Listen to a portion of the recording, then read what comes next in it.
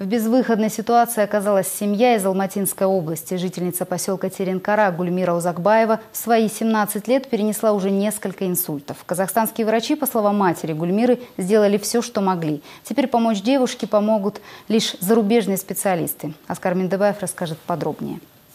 У Гульмиры Узакпаевой четыре раза нарушалось мозговое кровообращение. Столько же операций ей пришлось перенести.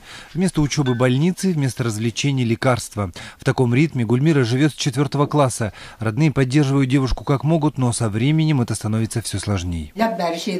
У нас рука и нога парализованы. Мы лечились и у нас. И восстание врачи говорят, дальше лечить здесь не имеет смысла. Нужно оперировать либо в России, либо в Израиле. Мама Гульмиры Гуляш осталась одна с тремя детьми. Шесть лет назад глава семейства скончался от инфаркта. Женщина перебивается случайными заработками. Содержать большую семью очень сложно, тем более дочери всегда нужны дорогостоящие лекарства. Диагнозов несколько, но основной звучит так. Артерия венозная мальформация, то есть нарушение мозгового кровообращения. В Центре нейрохирургии в Астане нас смотрели и советуют не тянуть с операцией.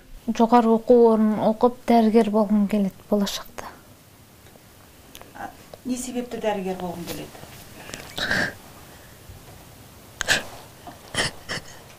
Гульмира мечтает стать первоклассным врачом в области нейрохирургии или кардиологии. Девушка говорит, что могла бы помогать таким, как она, безвозмездно. Мать Гульмира говорит, что они брошены на произвол судьбы и помощи ждать неоткуда. Сейчас свою небольшую двухкомнатную квартирку вот в этом общежитии в поселке Теренгара Гуляш Туруньязова вынуждена продать. Куда они пойдут дальше и где будут жить, женщина не знает. Оскар Медыбаев, Думан Сулейменов, Информбюро, 31 канал.